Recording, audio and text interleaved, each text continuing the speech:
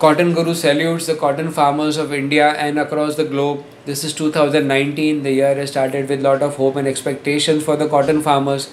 The farmers were hoping that the cotton prices would go up. In that hope and expectation, they have stocked the cotton with them. Many of the farmers have cotton with them, especially in India. So farmers keep on emailing, sending us WhatsApp messages. Said when will this market go up? Some farmers are even worried that will the market ever go up again? The cotton prices have fallen drastically from the October levels of 5,600 to 6,000 rupees per quintal to the current levels of 5,000 to 5,600 rupees per quintal. What is the reason for that? Why are the markets falling in spite of a low cotton crop in India?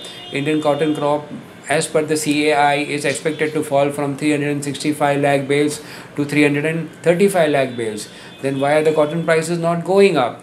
my farmer friends there are two main reasons for that one is the domestic market second is the international market in the domestic market the yarn and fabric markets are not doing well at all your your buyers are the ginning factories who who make cotton bales and they in turn sell to the spinning mills who make the yarn both these markets not doing well at all. There is very very weak demand and the, there there is a payment crisis in these two markets. That is why the buyers are not very keen to buy cotton at very high prices. And the reason mm, we see uh, the result we see that the seed cotton prices the kapas prices are going down. Secondly the international market america is the highest exporter of raw cotton. And we have seen american ice futures fall from 85 cents per pound levels to the current 70 to 74 cents per pound levels. This fall my friends basically is because there is no buying in american cotton. To that extent which was expected china their biggest buyer is not buying cotton due to the trade war. And uh, if this trade war continues for a longer period of time the, the cotton prices will definitely be under pressure.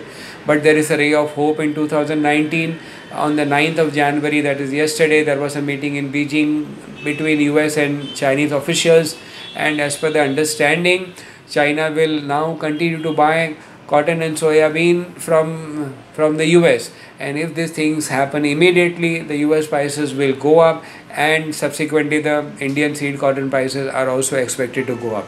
But if things don't materialize as expected then things will take time and we cannot predict the actual period but it may be 2 3 months when the cotton prices will again go up basically because then demand will take over the fundamentals will take over the the the uh, current crisis that is happening in the market.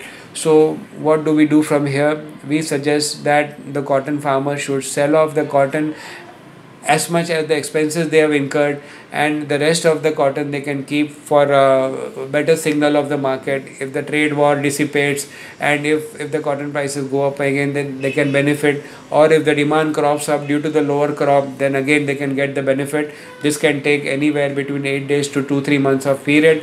And uh, we hope this happens as soon as possible as far as uh, uh, the cotton farmers are concerned and uh, secondly our suggestion cotton guru suggestion to the cotton farmers is don't have a list of demands towards the government. You do whatever you can. But if you wish to demand something you ask for two main things.